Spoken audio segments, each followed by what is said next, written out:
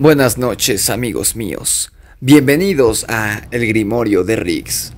Esta noche hablaremos sobre una teoría que se ha popularizado mucho en los últimos años, aunque lleva circulando en los medios conspiracionistas por mucho tiempo.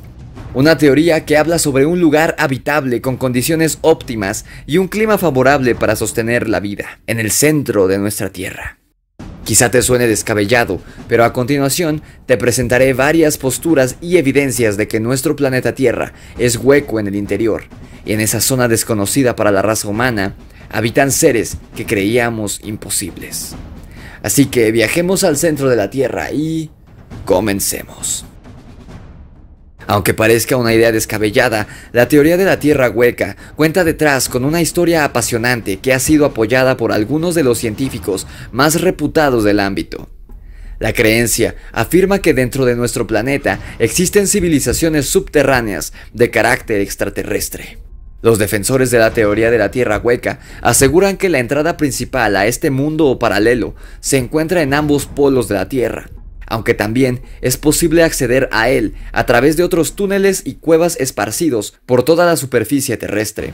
En su interior, las condiciones de vida son totalmente óptimas. Incluso cuentan con una estrella similar al Sol y un clima tropical durante todo el año. Según las hipótesis más insólitas, existe una raza alienígena que llegó a nuestro planeta mucho antes que el ser humano y desde entonces habita en su interior. Otras teorías hacen referencia a antiguas civilizaciones perdidas en el océano, como Atlántida, Lemuria o Hiperbórea.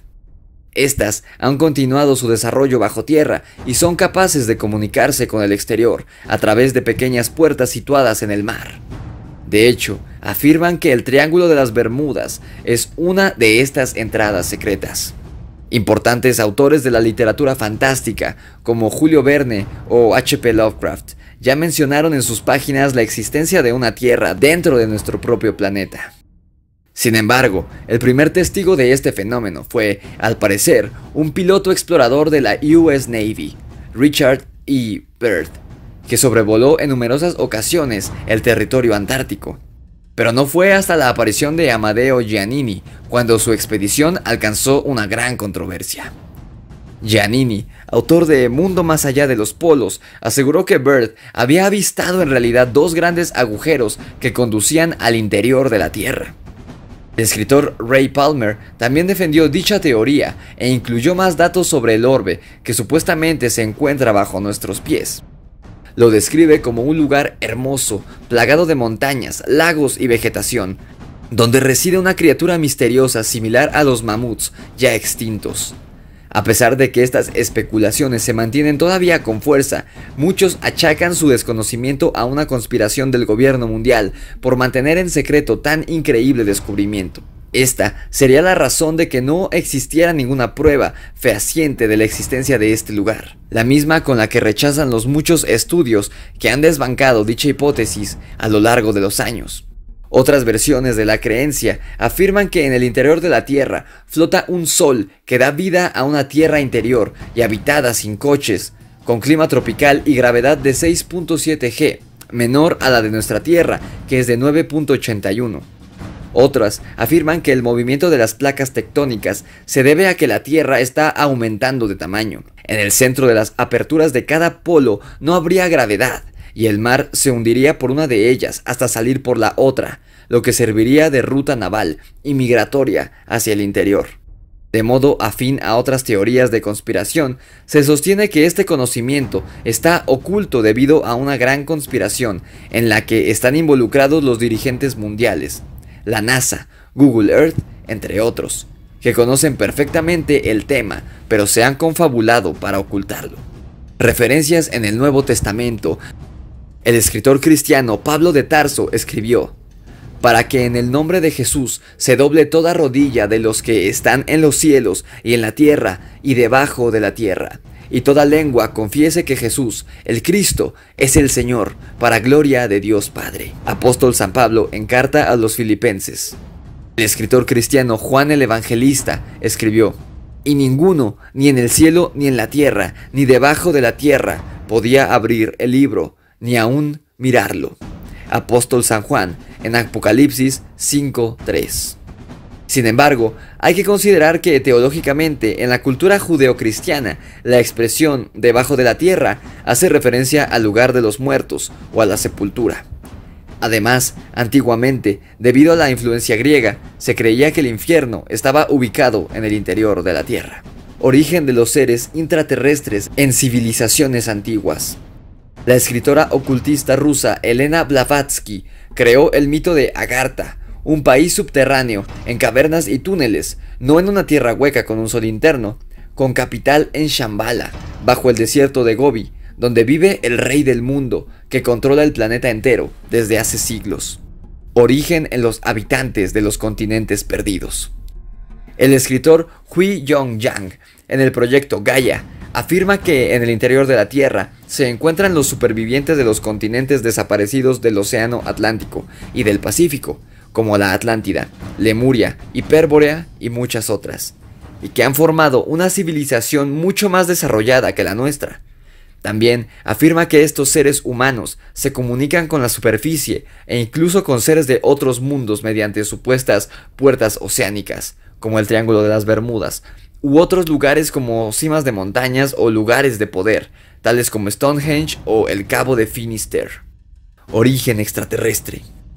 Existen, asimismo, varias creencias que ponen a estos seres intraterrestres como seres originalmente venidos de otros mundos, es decir, extraterrestres, mucho antes de la aparición del ser humano, y que habrían escogido estos túneles subterráneos como lugares para vivir. Es por ello que hay quienes indican que también deberían ser estudiados por la ufología.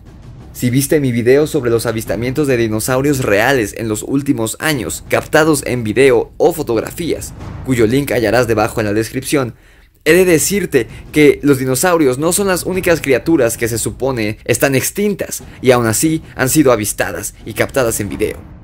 Este pietaje muestra a un mamut real atravesando un río helado en Siberia. Ya sea que la teoría revisada antes en este video del Dr. Ray Palmer sobre que en la Tierra hueca habiten seres muy similares a los mamuts, o que en realidad tanto los dinosaurios como los mamuts hayan sobrevivido y ahora habiten en el centro del planeta, es realmente fascinante. De hecho, hay una teoría que afirma que los mamuts han sobrevivido y que viven en el interior de las montañas más frías de Siberia al igual que se dice que los tiranosaurios rex sobrevivieron y viven en una pequeña comuna en las zonas más inhabitadas del desierto de Australia. Pero de eso hablaré en otra ocasión. Evidencias en contra de la creencia. Las creencias sobre la Tierra hueca están basadas en afirmaciones contrarias al conocimiento científico sobre la Tierra.